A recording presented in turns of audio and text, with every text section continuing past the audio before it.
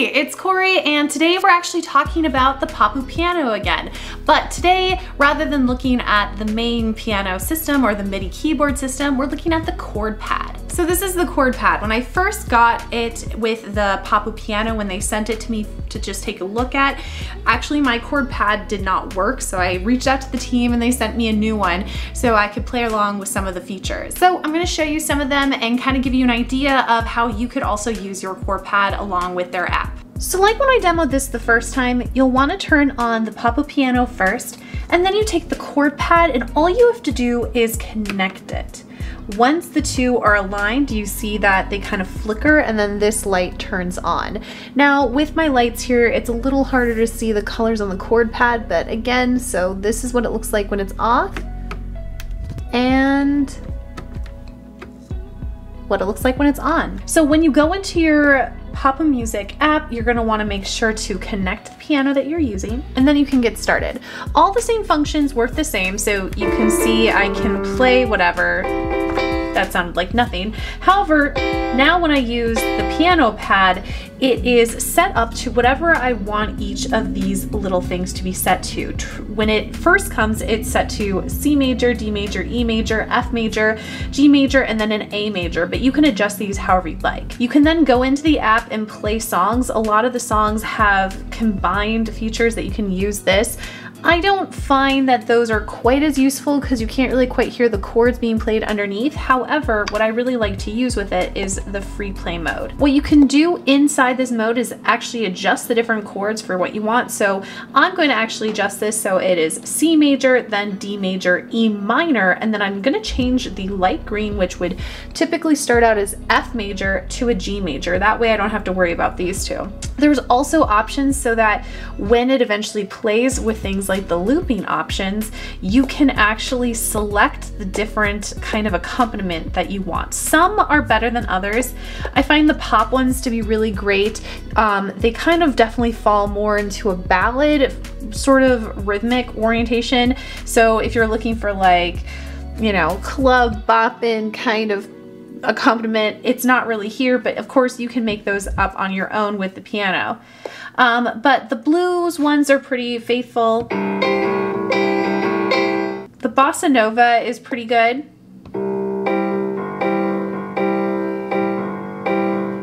And again, this adjusts. So if I wanted to make this now a C minor,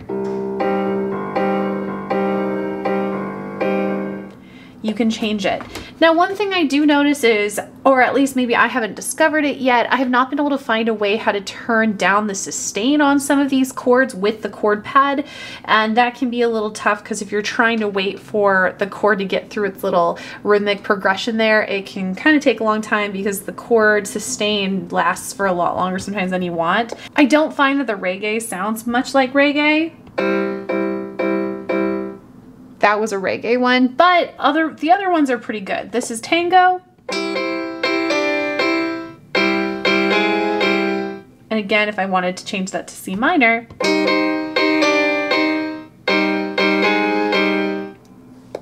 I do notice when you press a little too hard on these little buttons, you get like sort of a double action where it kind of starts and then because you press a little harder, it then starts to replay it again. So it just requires a little tap. There's also folk too, but these really sort of fall more into the pop ballad ones and I don't think they sound so much traditionally folk. But otherwise though, you still have a lot of options. Today I'm gonna be using one of the broken chord options for pop. So I'm going to choose this one where it's broken chords one and it's kind of an arpeggiation thing. But you can hear that sustain is lasting a really long time, which I personally find to be a little annoying, but it's not the biggest deal in the world. You can also change the tempo that you want to play these at um, from this uh, uh, too. So if, right now it's at 120. If I wanted it like, you know, down to a nine or we'll say 90, you can see it goes a lot slower. So I'll go back to that same broken chords two.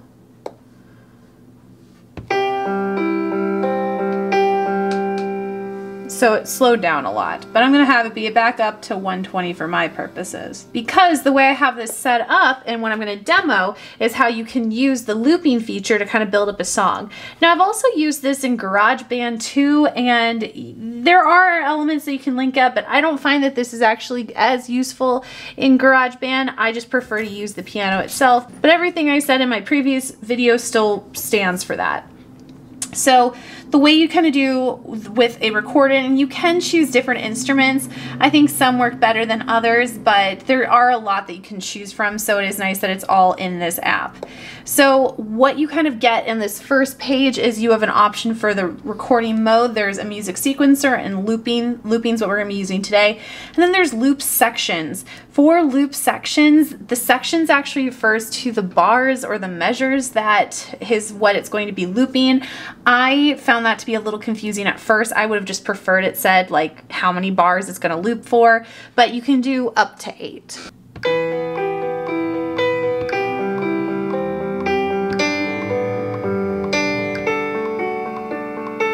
So I have my bass track looped. And if I play it, now you can hear as it loops back, there's kind of this weird gap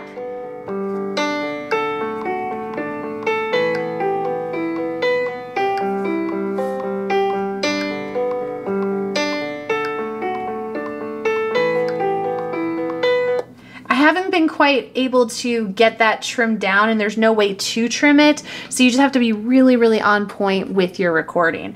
But now I'm actually going to go in and add a bass line. So it does the same thing where it can alternate with the chord pad which is cool. But, but I'm actually just gonna add a really simple bass line.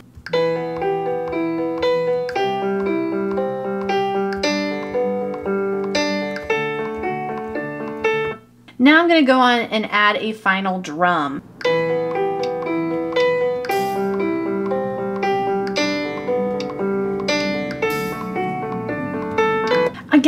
Haven't quite been able to figure out how to adjust the different levels, but this is still kind of like one of those programs that I think is geared towards people that maybe don't have familiarity with something like Pro Tools or GarageBand, um, but it's still really fun to play with. And now I have a little accompaniment that when I play, you can hear what song I was actually kind of building up. Can't read my, can't read my, no he can't read my poker face. She's got me like nobody. So that's a little bit of the functionality that you can have with the chord pad kind of in this free play mode, which is cool. And then you can save it if you want. Now there are additional tutorials and stuff that you can use on the app as well to learn more how to use the chord pad. Um, and I've done some of those and they are pretty helpful. But again, it's kind of stuff that I'm already familiar how to use just with having experience with other MIDI pianos too. Um, I find it a little bit awkward actually sometimes to be playing over here. I sort of wish there was just a little bit more space up here where the buttons were up here instead. Like I just find it'd be easier if it was all kind of in one unit. Um, it is nice that it extends it and you can kind of connect more than one device to here and like connect two pianos to the app as well. Um, but again, it, it's a nice feature. I have to say though, now that I have a working chord pad, while it is cool for what it is, I think that some adjustments might need to be made on the app itself to kind of make this more worth it on its own. I still feel really strongly about everything with just the PopuPiano, but I think some of this could have been incorporated into the main device because if I were to take this away, I can't really do much with it without it being connected to the piano. So it, it is really reliant on it. Um, and like I said, the first one I got wasn't working. Now I think that a little bit more leery of a device that when you get it, it's not working from the get-go. Now the support team and everything at Popu Music, they were awesome with getting me another one of these. But again, it's just one of those things that kind of sticks out in mind, whereas I haven't had any problems with the piano itself, which I've been really happy happy with. Again, I just think I would have liked it a little bit more if these features were up here a little bit too. So like I said before, I think it's nice to have the chord pad with the piano, but I do wish that these buttons were actually just integrated into the keyboard itself. Um, either maybe you could hit a button and it could just switch to this. I understand that it's meant to be played together, but I find even with the play along videos, the chord pad does not come through as clear as I would like it to.